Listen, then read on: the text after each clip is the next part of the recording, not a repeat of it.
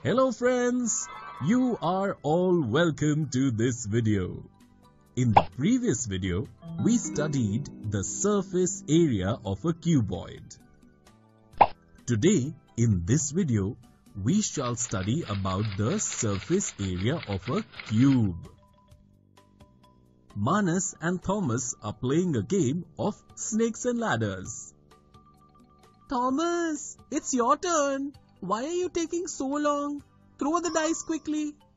Wait, Manas. Did you notice that this dice is not cuboid in shape? Yes, Thomas. All the faces of this dice are square. So the shape of this dice is that of a cube. That means its length, width and height are exactly the same.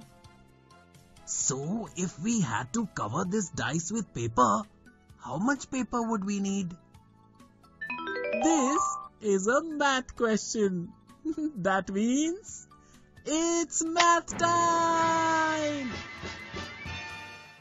Suppose the length of each side of this dice is 1.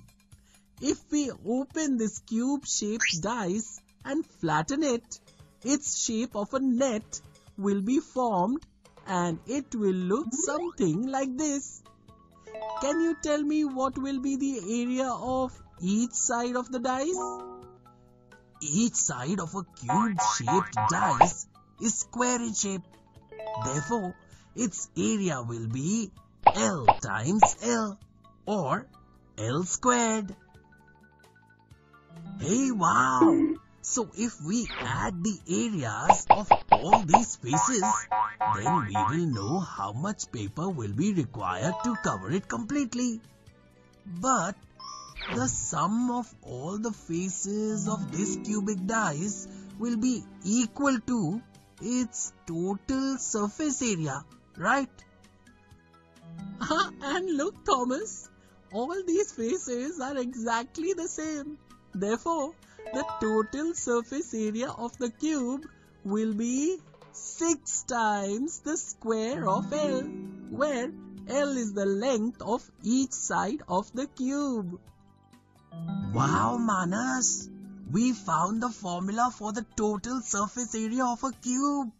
Now, let us quickly measure the length of the side of this dice and write it in this formula. Then we will know the total surface area of this cube. The length of the side of this dice is 1.5 centimeters.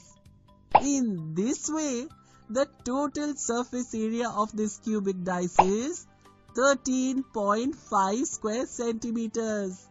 This means we will need 13.5 square centimeters of paper to cover this dice completely. And Manas, what if we have to cover only the standing or vertical surfaces of the dice? The sum of the areas of all the sides that are left behind after you remove the bottom and the top faces of any cube is called the lateral surface area of that cube. This means that the lateral surface area of a cube with sides of length L will be equal to the sum of the areas of these square sides. But all these square sides are congruent. So, we can write it in this way as well. Hey Manas, we also found the formula for the lateral surface area of a cube. Let me write the length of the sides of my dice. That is 1.5 centimeters in the formula. Look Thomas, this cube shaped dice has a lateral surface area of 9 square centimeters. This means we will need 9 square centimeters of paper to cover the lateral sides of this dice. Wow! Today we learned two more new formulae. Let me quickly write them down in my math formula book. Now let us return and complete our game today. I will definitely defeat you. Both the friends started playing their game again with great pleasure and enthusiasm. In this video today, we studied the surface area of a cube. In the next video, we shall see some interesting examples based on this.